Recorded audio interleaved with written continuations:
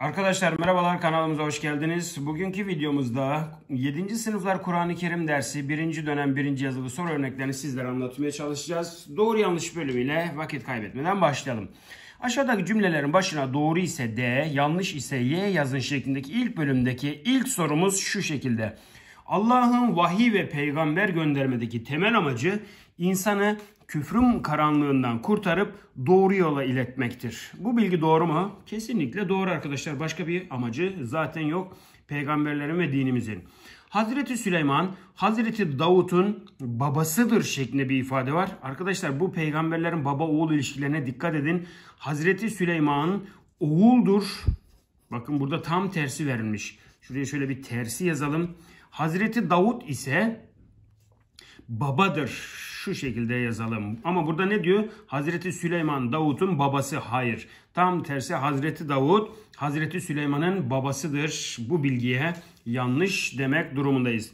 Hazreti Davut'tan kalan hatıralardan biri de Sam-ı Davud'dur. Evet Sam-ı Davud dediğimiz arkadaşlar neydi? Saum dolayısıyla Davut orucu değil mi? İki gün tut, bir gün tutma, iki gün tut, bir gün tutma şeklinde Saum Davud şeklinde ifade edilir. Buna da doğru diyeceğiz. Hazreti Davut hükümdar peygamberlerdendir. Doğru mu? Bu da yine doğru. Aynen Hazreti Yusuf'un Mısır'a sultan olması gibi. Diyelim ve geçelim bir başka soruya. Beşinci soruda Kur'an-ı Kerim 622 yılında indirilmeye başlandı şeklinde bir ifade var. 622 yılına dikkat edin. Hayır arkadaşlar yanlış 622'de hicret vardı zaten. Dolayısıyla peygamberimize Kur'an-ı Kerim'den indirilmeye başlanması 622 değil 610 yılında Hira mağarasındaydı hatırlayın.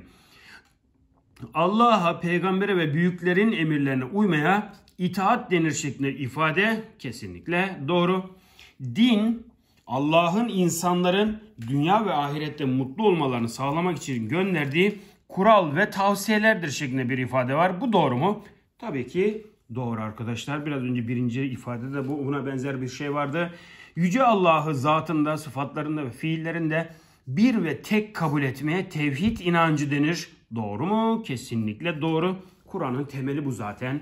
Allah'ın varlığını, birliğini ve Hazreti Peygamber'in Allah'tan getirdiği kesin hüküm ve bilgileri kalp ile tasdik etmek, tereddütsüz kabul edip teslim olmaya iman denir şeklindeki verilen tanım bu kavram zaten biliyoruz ki 9. soruda imanın, iman teriminin kavramının tanımıydı. Dolayısıyla buna da kocaman bir doğru yazalım.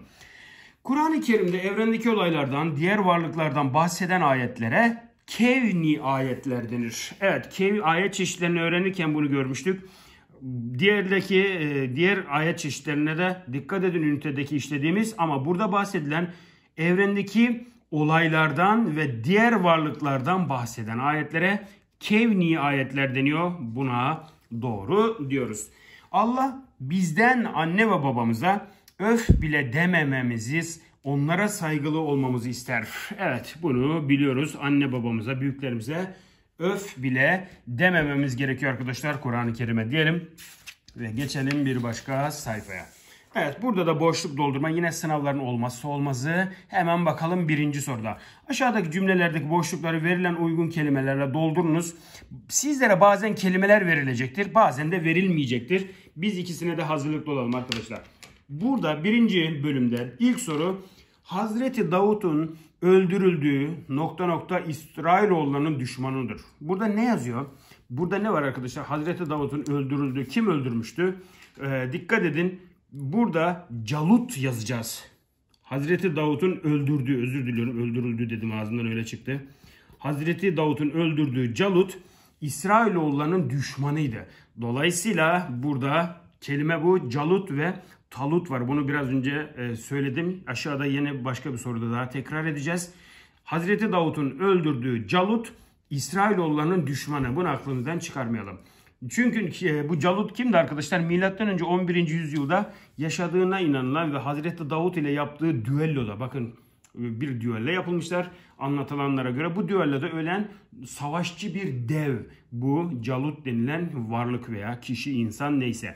Sesi çok güzel olan nokta nokta Zebur'u okuduğu zaman insanlar ve hayvanlar onu dinlerdi. Bakın Zebur'u okuduğu zaman kime indi ki bu Zebur?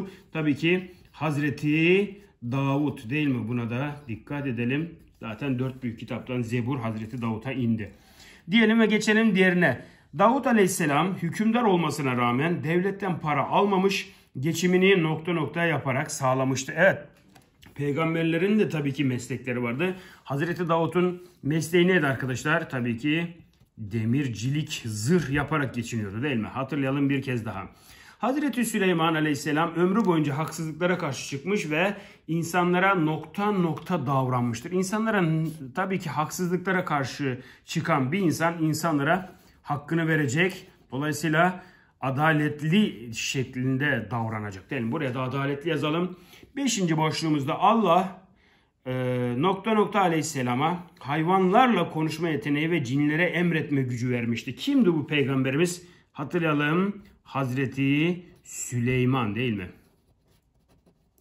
Kuşların, hayvanların dilinden onlarla irtibata geçebiliyordu ve cinlere hükmedebiliyordu. Orduları vardı hatta Hazreti Süleyman'ın diyelim ve geçelim 6. soruya. Hazreti Muhammed'in soyu Mekke'de büyüyüp aile kuran Hazreti nokta noktaya dayanır. Kimdi bu? Hazreti Peygamberimizin soyunun dayandığı diğer peygamber arkadaşlar. Hazreti İsmail'di değil mi? Buraya da Hazreti İsmail yazmış olalım.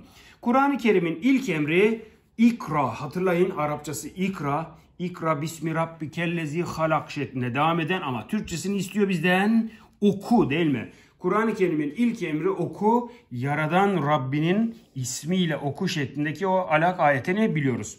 Hazreti Süleyman kıssasından nokta nokta bile geleceğini bilmediğini anlıyoruz. Hazreti Süleyman'ın kıssasından hatırlayın biz neyin geleceğini bilmiyoruz arkadaşlar. Tabii ki peygamberlerin bile. Peygamberlerin yazalım şuraya.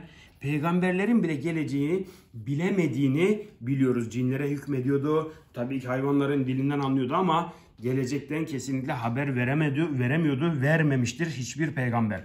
Dolayısıyla buraya peygamberlerin bile geleceği bilemediğini yazalım ve geçelim 9'a. Allah tarafından doğrudan doğruya veya Cebrail aracılığıyla peygamberlere gönderilen bilgilere nokta nokta denir. Evet vahiy değil mi? Burada Cebrail aleyhisselamın peygamberimize taşıdığı o Kur'an ayetlerini, surelerini biz vahiy diye öğrenmiştik zaten diyelim ve evet geldik 10. sorudaki Calut. Calut ordusunun karşısındaki İsrailoğullarının ordusunun başında da kim vardı? Talut arkadaşlar. Bu Calut ve Talut birbirine düşmandı tabii ki. Calut ordusunun karşısında İsrail ordusunun başında da o zaman Talut vardı. Peki kimdi bu Talut? Milattan önce 1047 ve 1007 yıllarında yaşayan İsrail e, krallığının ilk kralı arkadaşlar. İsrail krallığının ilk kralıdır bu Talut. Buna dikkat edin. Bu Talut ve Calut savaşları ta o zaman İsrailoğullarının kurulduğunda o Hazreti Davut zamanında Süleyman zamanında tabii ki bunları öğrendik yaşamış insanlar. Diyelim ve gelelim bir başkasına. Aşağıdaki çoktan seçmeli soruların doğru seçeneğin işaretleniş şeklinde bir bölüm var. Bakalım ilk soru nedir? İnanç esaslarının, ibadetlerin, ahlak kurallarının ve toplum hayatı ile ilgili ilkelerin yer aldığı İslam'ın temel kaynağı aşağıdakilerden hangisidir ifadesi var. İncil, Tevrat, Zebur, Kur'an-ı Kerim. Arkadaşlar İslam'ın temel kaynağı gidip de İncil, Tevrat, Zebur'da aranmaz. Tabii ki Kur'an-ı Kerim olacak. İlk sorumuz gayet basit. Hadi bakalım diğerlerini ne gösteriyor bize. Kur'an-ı Kerim okuduğumuzda aşağıdakilerden hangisine ulaşamayız? Dinimizin özünü kavrarız. Rabbimizle iletişim kurarız Kur'an okuyarak. ilahi mesajlara ulaşırız. Bütün ibadetlerin nasıl yapılacağını öğreniriz. Arkadaşlar namaz şöyle kılınır, oruç böyle tutulur diye bir bir detaylı bir şekilde Kur'an-ı Kerim'de anlatmaz. Bunları Peygamber Efendimiz bize detaylı bir şekilde zamanında anlatmış ve sünnet olarak uygulamış. Dolayısıyla C seçeneği doğru olacak bu soruda. Üçüncü soruya bakalım. Ey iman edenler sizi ve sizden öncekileri yaratan Rabbinize kulluk edin. Umulur ki Allah'ın azabından korunursunuz. Bakara suresinin 21. ayetinde böyle bir meal var. Peki yukarıdaki ayetlere göre biz insanların yaratılış amacı nedir? Buradaki ayete göre yaratılış amacımızın ne olduğuna bakalım. Dünyada güzel vakit geçirmek. Amaç bu değil. Allah'ın emir ve yasaklarına uyarak onun rızasını kazanmak işte budur. Sürekli çalışıp para kazanmak tabii ki sadece bu dünyada kalsak belki geçerli ama bu dünyanın geçe, e, geçici olduğunu biliyoruz. Bu da değil. Sadece ahiret hayatı için çabalamak bu da değil. Yani bugün e, ölecekmiş, yarın ölecekmişiz gibi ahiret için, hiç ölmeyecekmişiz gibi dünya için çalışın denilir ya. İşte bu. Her ikisi de var ama buradaki ayette bize e, anlatılmak istenen Allah'ın emir ve yasaklarına uyarak onun rızasını kazanmaktır cevabımız. B seçeneği olacak bu soruda. Diyelim ve dördüncü soruya bakalım. Filistin'de bulunan Mescid-i Aksa'yı 7 yıl içinde inşa ettiren peygamber kimdir? Evet şu an Mescid-i Aksa Yahudilerin zulmünde biliyorsunuz. Peki 7 yıl içinde 7 yıl süren bu inşayı hangi peygamber yaptırdı arkadaşlar? Tabii ki Hazreti Süleyman değil mi? Bu Hazreti Davut ve Hazreti Süleyman'la ilgili bol soru gelir bu soruda, bu sınavda. Lütfen dikkat edelim arkadaşlar ve geçelim diğerine. İsrailoğullarının çok önem verdiği tabutun içinde yukarıdakilerden hangisi ya da hangileri vardı? Arkadaşlar tabut biliyorsunuz ki e, neydi? Hazreti Musa ve Hazreti Harun'un evinin kutsal emanetlerini ihtiva eden bir tabuttu. Ve bu İsrailoğulları için çok önemliydi. Bakalım cevabımız ne olacak bu soruda? Hazreti Musa'nın asası. Biraz önce dedik ya Musa ile Harun'un e, yadigarları diyelim, hatıraları diyelim. Bu olacak. Hazreti Yusuf'un gömleği. Hazreti Yusuf'un gömleği ile ilgili herhangi bir şey, ifade yok bu tabutun içerisinde. Dolayısıyla buna çarpı diyeceğiz. Ve Tevrat levhaları yine e, İsrailoğulları için, Yahudiler için önemli olan bu da var. Dolayısıyla 1 ve 3 seçeneği görüyoruz ki D seçeneğinde var. Dolayısıyla cevabımız D seçeneği oldu. Yani siz tabutun ne olduğunu aklına çıkarmayın yeter. Hazreti Musa ve Hazreti Harun'un evinin kutsal emanetlerini ihtiva eden bir tabut diyelim ve geçelim. Bir başka soruya aşağı Allah tarafından Hazreti Davut'a gönderilen ilahi kitap aşağıdakilerden hangisidir? Tabii ki biliyoruz ki Davut Zebur kitabı ona indirildi. E, Tevrat Musa'ya, İncil İsa'ya, Zebur Davut Aleyhisselam'a, Suhuf da zaten kutsal kitap olarak indirilmedi. Sayfa olarak indirildi. Onu zaten eliyoruz direkt. Cevabımız belli olduktan sonra geçelim 7. soruya. Hazreti Süleyman'ın rehberliğini yapan hayvanın adı neydi? Evet hüt hüt kuşu değil mi? Yani şimdiki tabirle yaban horozuna benzeyen bir kuş. Dolayısıyla cevabımız A seçeneği olacak bu soruda. Aşağıdakilerden hangisi Kur'an'ın temel amaçlarından biri değildir ifadesi var. Bakalım hangisi değilmiş. Aşağıda bir Allah evren ve varlıklarla ilgili doğru bilgi vermek. Bakın değildir ifadesi var. Soru köküne dikkat edelim. Bu amaçlarından biri. İnsana tarihi ve siyasi bilgiler vermek. Kur'an tarih kitabı değil arkadaşlar.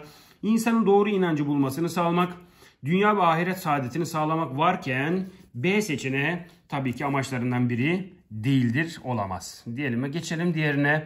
Evet 9. soruda yukarıda bazı özellikleri sıralanan peygamberler aşağıdakilerden hangisidir ifadesi var. Evet peygamber baba oğul ilişkisine dikkat edin demiştik. Bakalım ne veriyor bizdeki buradaki bilgiler. İkisi de hükümdar ve peygamberdir. Evet ikisi de diyor. Dikkat edin bu önemli. Kimdi o? Hükümdar ve hem hükümdar hem peygamber olanlar. Hazreti Davut'la Süleyman değil mi arkadaşlar? Bunlar hem hükümdar hem sultan olmuşlardı Mısır zamanında. Hatta Hazreti Yusuf da bile sultanlık vardı biliyorsunuz Mısır'da. Bakalım diğerlerine. İsrailoğullarını doğruya doğru yola çağırmışlardır.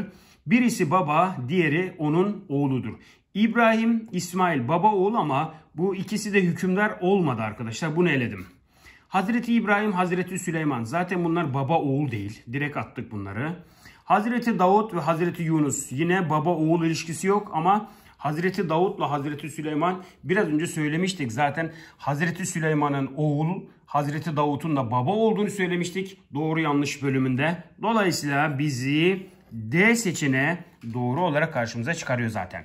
Allah'a ortak koşan kişi yani müşrik direkt söyleyelim. Allah'tan başka şeylere de ibadet eden e, kişiye ne denir ifadesi var. Tabii ki direkt söylemiş olduk.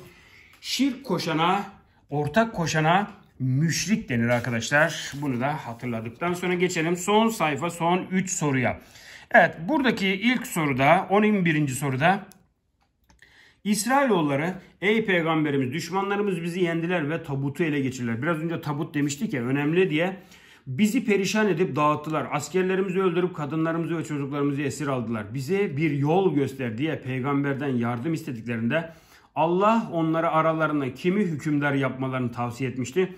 Biraz önce söyledik. Talut'tu değil mi arkadaşlar? İsrail krallığının, İsrail oğulları krallığının ilk kralıydı Talut ve Calut'la savaşları meşhurdur o dönemde. Dolayısıyla cevabımız C seçeneği olacak bu soruda diyelim ve 12. soruya bakalım. Aşağıdakilerden hangisi Kur'an-ı Kerim'in özelliklerinden biri değildir ifadesi var. Yine soru köküne dikkat edelim. Değildir. Kur'an bütün çağlara, zamanlara, insanlığa, aleme gönderilmiştir. Hitap ediyor. Evet. Kur'an sadece Araplara indirilmiştir. Arkadaşlar sadece Araplara mı indirildi?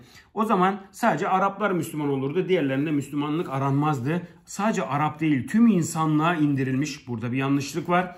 Kur'an müminin yani inanan insanların yol haritasıdır. Doğru. Kur'an Arapça olarak indirilmiştir. Bu da doğru çünkü Arabistan'da indirildiği için cevabımız B seçeneği olacak bu soruda açık bir şekilde. 13'e bakalım. Hazreti Süleyman komşu ülkenin kraliçesi nokta noktaya gönderdiği mektupla ona nokta noktayı teklif ediyordu. Peki Hazreti Süleyman hangi komşu ülkesi, hangi kraliçeye bir mektup, bir e, haber göndermişti? Buna bakalım.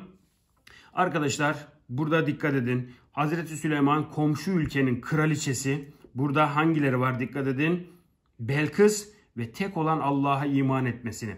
Bakın şimdi burada Belkıs'a mektup göndermiş ve ona ülkesine yerleşmesini diyor. Hayır. İki ülke arasında anlaşma yapmayı hayır. Zaten Kleopatra değil o zamanki kraliçe. Ee, Firavun da değil ama Belkıs kraliçe olacak. Buraya bir Belkıs yazalım. Ve buraya da tek olan Allah'a iman etmeye çağırıyordu. Dolayısıyla cevabımızın C seçeneği oldu. Gayet açık oldu diyelim. Ve bugünkü videomuzun da sonuna gelelim arkadaşlar. Kanalımızın ismi Özel Öğretmen. Abone olmayı unutmayın lütfen parolasıyla. Hepinize başarılar diliyoruz. Unutmayın ana sayfamızda oynatma listelerinden 7. sınıfların bütün videolarına, sınav videolarına ulaşabilirsiniz diyelim. Hoşçakalın. Kendinize iyi bakın ama lütfen Özel Öğretmen kanalımızda kalın.